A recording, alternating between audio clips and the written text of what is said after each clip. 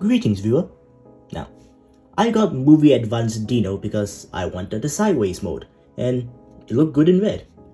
It has problems like these comically small feet, but I like this toy. I did, however, still want the Dino figure that turned into a Ferrari 458. Alien Attack Mirage looked promising, but I felt it was a bit too complex for its size and plastic quality was apparently not very good. If it was me trying to transform it, I guarantee I would have broken something. Now, I could have gotten the Black Mamba oversized KO, but Unique Toys released Red Dasher here, so I uh, got him instead. And what a figure! Starting in vehicle mode, it's the 458 Italia no matter how you spin it. It's not my favorite Ferrari, but it's still a beauty. The rear, I admit, is a tad iffy, but it's all in service of the fantastic transformation you'll see later. And it could be worse. Looking at you, Universe Cyanide.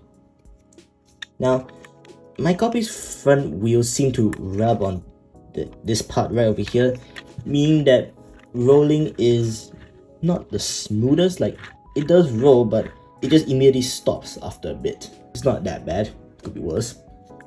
There's brakes with calipers, all well painted. And speaking of paint, got the rims as well, the grills. It's all very, very nice. Now for obvious reasons, there is no Ferrari badge found. Normally I would be fine with that, but I feel like he needs a dash of yellow. Might check online to see about obtaining them. The side mirrors are not installed when you get it, you need to push it in yourself. It can be a bit tight, but persevere and you should be fine. Enough car talk, let's show off his robot mode.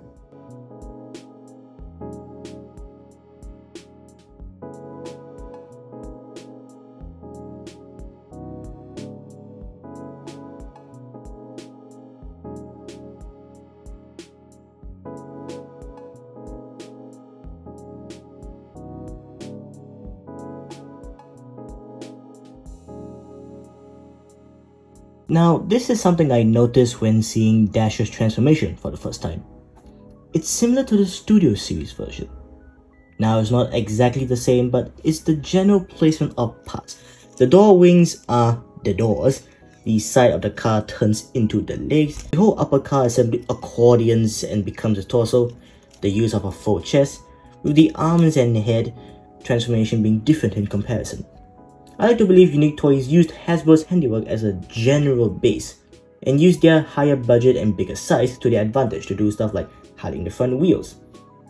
And when I say general base, I mean like placement of, of limbs, somewhat. Not like just upscaling the thing and doing improvements like a knockoff company, just placements. It's probably not true, but it's a fun thought.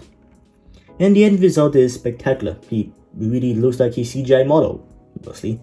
The feet are wider and a tad off-centered due to the wheels underneath. Plus side is it barely registers in your brain unless you actively look at them and gives his feet good traction so you won't slip around no matter what. Very nice. They also look like space fighters from the Star Fox franchise. Now you'll never unsee that. Just like Dino having B's battle mark from his solo movie for a crotch. Did a shot on that. Now he did make use of a full part, but to bend and contort the 458 front fender headlight combo is nigh impossible. Alien Attack tried, good effort on them, but it looked awkward to me. And with the chest design, you could very well mistake their headlights as just robotic greebles, like Lockdown, as you can see right over here. These are the headlights. They don't look like headlights at all. Moving on from that, articulation is also above average, able to pull off dynamic poses as seen in the movie with confidence. This wasn't in the movie, but I decided to put him in this pose for reasons. Then it looks like Sun Wukong. Anyways, I do have a word of warning. The shoulders right over here are painted.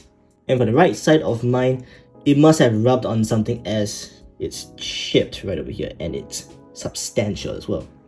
There is the upside because it's out of sight via, ironically, the placement of the chipping and, well, the head. Just cover it up and there you go. You'll never see it. So, that's a good thing, I guess. I'd still be careful though. Anyways, leaving Dino here to, I don't know, cosplay as the Monkey King, you got your accessories like his iconic dual blades. Right here, well sculpted, well painted, isn't articulated like the Alien Attack Toys version. Definitely would have liked to see that, but oh well. And you also get the claw hooks he used on Hatchet. Now both uses tabs, right? As you can see on the back of Dino's arms right here, claw it's quite large so just pick any size and just plug it in like so and then claw hook is also the exact same thing. Just find it. Just um, plug it in and there you go. This pose doesn't make sense for the accessories but uh, never mind that fact. The hook makes use of a bendy wire to allow you to pose them in any way you want for more natural shots i guess. This doesn't look natural, but uh, you get my point. Oh, and um, I almost forgot, but you also get cards because all masterpiece stuff needs cards for reasons. I, I don't know why we need cards, but uh, here you go. You got one for him. Here's stats and oddly enough, DX9 Lahaya. I don't have Lahaya, but I got his card. That, whatever, I guess. With a simple but intuitive transformation, great possibility in weapons, nicely painted, for 148 SGD, I'd say it's money well spent. Heck, it's 100 USD on Show Z. I know it's 99.99 but that's effectively 100. It's like a few dollars cheaper than what I paid for. So, there's that. You're not gonna regret buying this guy. So here's a last minute uh, comparison. And that's all for me. Hope this was helpful in any way and I'll see you for Brawls Review.